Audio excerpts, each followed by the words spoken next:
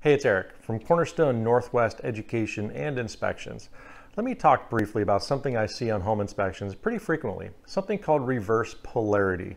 In a perfect world, these are designed for power to come in one side and out the other. And when you plug something into this, that power comes in, goes through whatever you have plugged in, and then back out in a certain direction.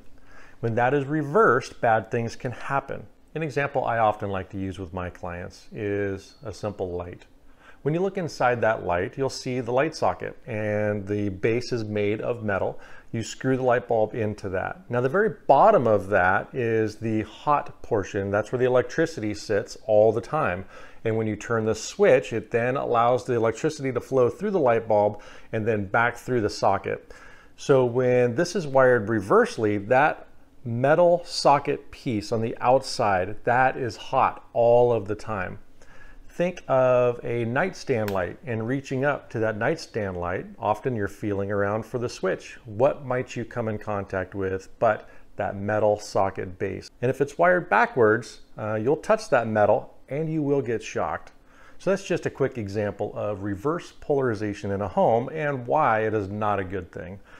This has been Drive By Wisdom.